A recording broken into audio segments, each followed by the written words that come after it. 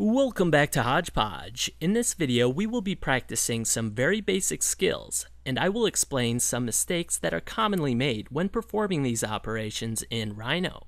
This exercise number 35 comes from the Level 1 Rhino training manual found on rhino3d.com. To start this exercise, I will open up the filletx.3dm file. The exercise wants us to perform a fillet and chamfer. Pause this video now and see if you can do it on your own. Were you able to get it? To create a fillet, go to the top menu and select Curve, Fillet Curves. I will set my radius to 0.5 and then select the two lines I would like to fillet.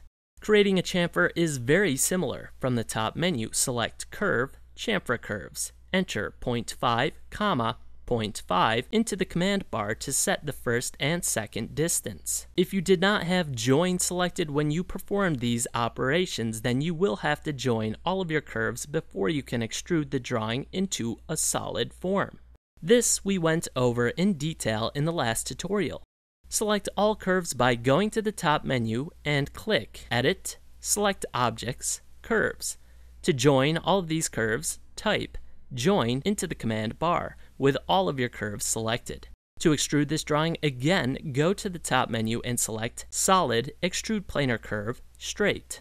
After we have extruded our drawing, we will fillet all along the edge of the top face. Do this by going to the top menu and selecting Solid, Fillet Edge, Fillet Edge. Then select all of the curves that make up the border of the face. You will want to set the radius of your fillet first.